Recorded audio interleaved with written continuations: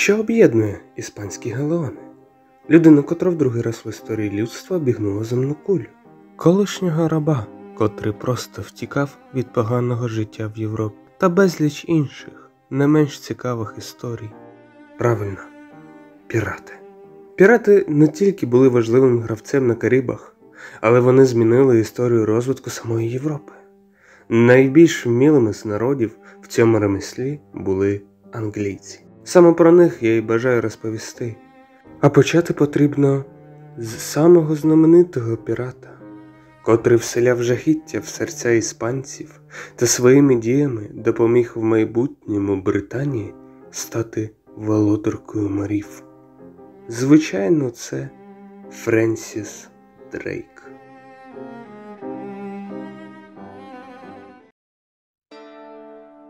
Народився Френсіс приблизно у 1540 році в місті Тавісток, Девоншир.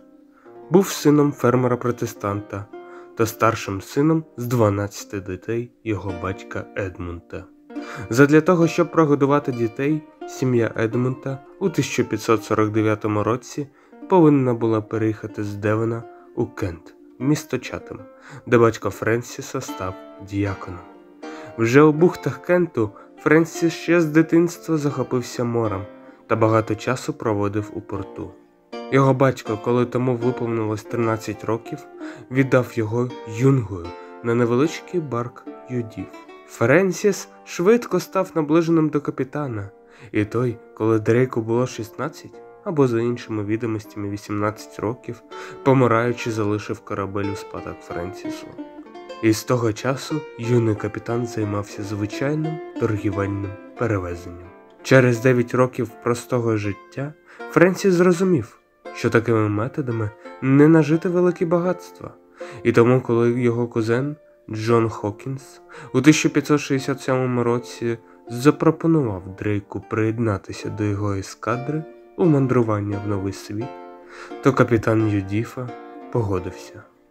Доречно зазначити, що про Хокінса говорили як про пірата та работорговця, але це не збентежило Френсіса.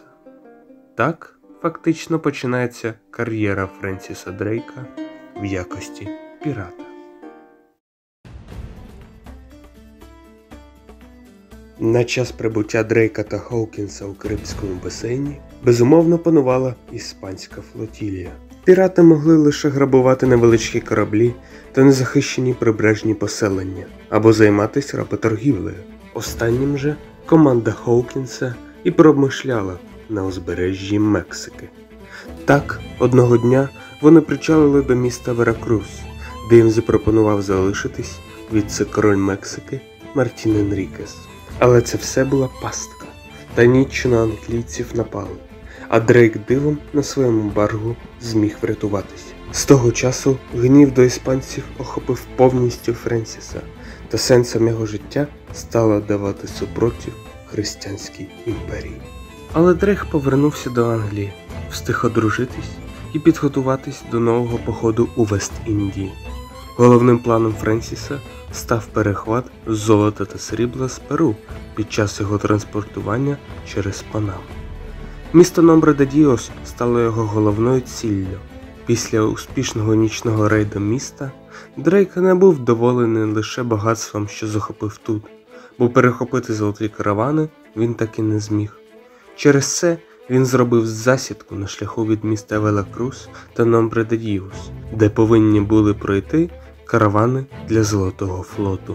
Команду Дрейка майже вибили з їх позицій під час засідки, але допомога біглих рабів маронів змінила хід битви. Тепер вже в другий раз команда Френсіса грабувала Номбре де Діос та все-таки змогла захопити іспанське срібло, котрого було так багато, що вони повинні були його закопати та через деякий час повернутися та забрати. Так завершився перший великий похід Френсіса Дрейка, та більшу частину скарбів Дрейк віддав англійській короні. Це були настільки великі суми, що фактично становили декілька річних бюджетів Англії. Після цього Дрейк став кумиром у народі. В листопаді 1577 року Дрейк був відправлений в офіційну експедицію до узбережжя Америки в Тихий океан. Йому доручалося відкриття нових земель та грабіж іспанських територій і кораблів. Цього разу під командуванням Дрейка було вже п'ять кораблів. Френсіс відправився на південь до Магелланової протоки. Саме там він перейменував один з кораблів на знамениту Золоту Лань. Далі Дрейк поплив на північ, захоплюючи і грабуючи по дорозі прибережні міста. Великі багатства його чекали у Вальпараїсо. Там піратам дістався корабель, навантажений золотом і дорогими товарами. А саме головне, на іспанському кораблі виявилися секретні морські карти з детальним описом західного узбережжя Америки. Недалеко від Панамського перешийка їм вдалося взяти на абордаж великий іспанський корабель Карфуего, на якому опинилося більше півтори тонни золота і велика кількість срібла. Рейд вздовж західного узбережжя Америки виявився надзвичайно вдалий. Корабель Френсіса Дрейка був перевантажений здобиччю, потрібно було повертатися до Англії. Але йти через Магеллонову протоку капітан не ризикнув, розуміючи, що там на нього вже чекають іспанські кораблі. Вирішивши обхитрити іспанців, Дрейк відправився шляхом через Тихий океан. Плавання пройшло досить спокійно, і 26 вересня 1580 року Золота Лань увійшла у порт Плімут. Так закінчилося друге після Магеллана кругосвітне плавання, вчинене піратом Френсісом Дрейком. В Плімуті капітана чекала урочиста зустріч. Королева Єлизавета прибула на Золоту Лань. Прямо на палубі справила Френсіса Дрейка в лицарі. Далі Дрейк бере участь у великій події свого часу та командує англійським флотом під час війни з Іспанією та її непереможною армадою. Дрейк вплинув на цю подію ще до самої битви, а саме тим, що проводив рейд на узбережжі Галісії та зі своєю невеличкою ескадрою зміг потопити та підпалити велику частину іспанських кораблів. А під час самої битви він зміг зберегти англійський флот та змусити армаду відступати, де вже під час цього їх настиг шторм. Так, зі славою та у багатствах закінчив своє життя саме великий англійський пірат, котрий зробив Англії стільки добра та користі, скільки не могла одна людина на свій час. Саме за це його пам'ятають і шанують і в наші дні.